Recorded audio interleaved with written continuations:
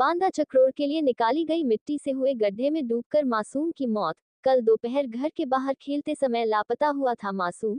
सुबह खेतों की तरफ़ जा रहे ग्रामीणों को गड्ढे में तैरता मिला मासूम का शव। ठेकेदारों द्वारा चक्रोर निर्माण के लिए निकाली गई थी मिट्टी। ठेकेदारों ने मिट्टी निकालने से हुए गड्ढों का नहीं कराया समतलीकरण। सात वर्षीय मंजीत की मौत से परिजनों का रो रो कर बुरा हाल। मामला शहर कोतवाली अंतर्गत भरखरी गाँव का है। बांदा से प्रभंजन कुमार गुप्ता की रिपोर्ट। नाम है आपका? अजीत कुमार। कहाँ पर है? भरखरी। क्या घटना हुई है? घटना है कि कल दो बजे जो है गुम हो गया तो उसको तलाश रहे थे मिला नहीं। जब सुबह टाइम गए जो है तो जहाँ पे रोड बनी हुई है उसके किनारे खुदाई खुदाई में जो है मिला जो है उतराता हुआ। क्या नाम था बच्चे का? नाम मंजीत।